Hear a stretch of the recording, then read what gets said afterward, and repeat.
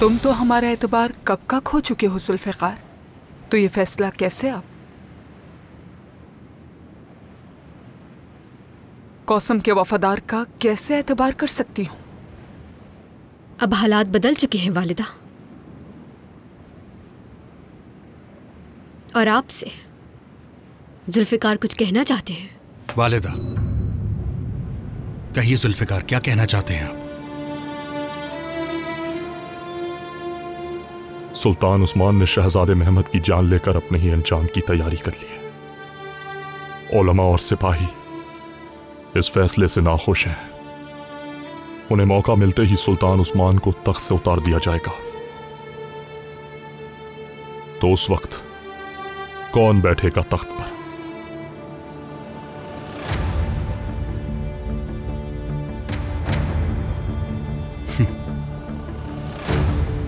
एक तरफ़ हलीमा सुल्तान का दीवाना बेटा मुस्तफ़ा और दूसरी तरफ़ कौसम के छोटे शहजादे। ऐसा ही है। बिल्कुल। उस तख्त पर अब वही बैठेगा जो अकबर और अरशद है यानी तुम्हारे जैसे ताकतवर। और अक्लमंद बादशाह की ज़रूरत है हमें सिकंदर। इसी वजह से मैंने शहजादी हमशा की यह बात कबूल की है। अब सल्तनत की लड़ाई खत्म होनी चाहिए। बेहतर निज़ाम बनाने के लिए तख्त पर शहजादे सिकंदर को बैठना चाहिए।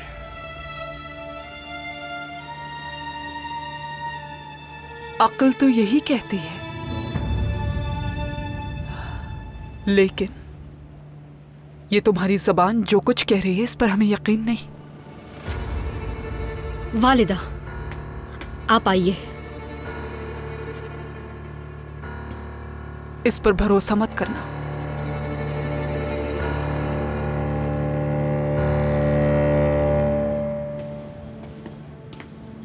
हमशा तुम्हें एहसास भी है तुमने क्या किया है हाँ?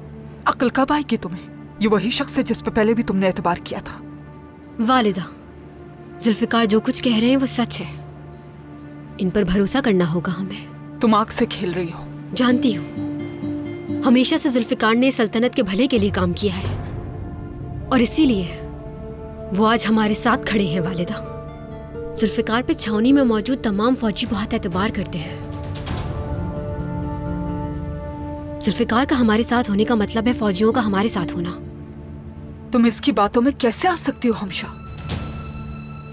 पहले इसको हमारा एतमाद जीतना होगा, और उस वक्त तक वो हरगिज सिकंदर के करीब नहीं आएगा, और किसी को सिकंदर का इल्म नहीं होगा, ना तुम्हें, ना ही उसे।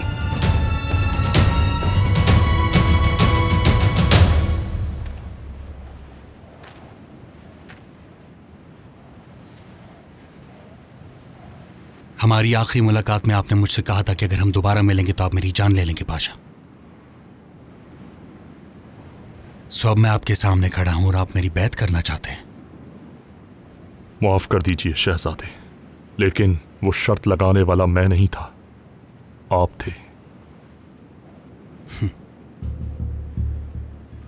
शहजादे महमद का कत्ल कर दिया गया। इसीलिए अब इस हुकूमत की बका के लिए जो सही है मैं वो ही करूँगा। आला, ये बात तो तय है कि तख्त पर मैं बहुत जल्द बैठूँगा। मेरे खिलाफ खड़े होकर, मेरा दुश्मन बनकर, आपको नुकसान ही होगा। और मेरे साथ होने की सूरत में एक ऊँचा मकाम मिलेगा।